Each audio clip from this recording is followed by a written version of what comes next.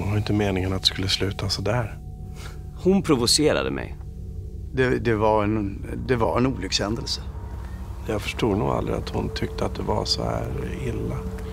Hon kanske överdriver, men om det var som hon säger att, att det var så då är det ju verkligen allvarligt. Man fattar väl hur folk kanske tänker.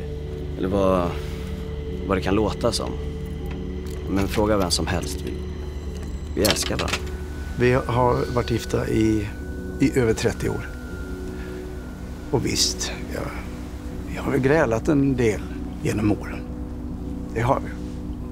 Och vid några tillfällen har det väl varit lite allvarligare bråk. Ja, barnen. Med tanke på barnen som är mest ont. Jag kommer aldrig kunna förlåta mig själv för vad jag utsatt dem för. Men barnen var ju faktiskt inte där. De var inne på sina rum. Folk snackar så mycket. Det, det, blir, det blir lätt så överdrivet. Som den där gången när vi tjafsade om någon liten skitsak. Vi stod i hallen, vi skrek på varann. Visst sa vi dumma saker åt varandra. Eller jag. Jag skrek. Hon hade blivit så där tyst som hon alltid blev.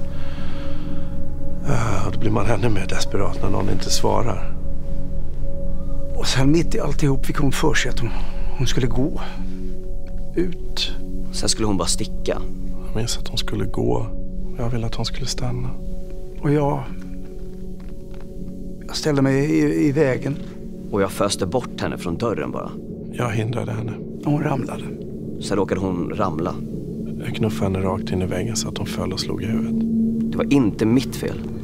Jag för mig att det blev helt tyst.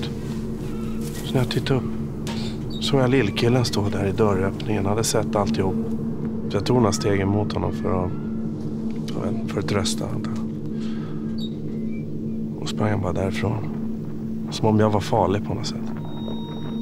Jag. Hans pappa. Jag har aldrig slagit en tjej. Fråga vem som helst. Ja, vi har faktiskt varit gifta i över 30 år nu. Kanske överdriver hon om vissa saker, men om det är som hon säger. Att man skulle ha gjort det här flera gånger. Då är det ju, då är det ju fruktansvärt. Då uh, eh, kanske jag borde ta tag i det här. Så här vill jag inte ha det.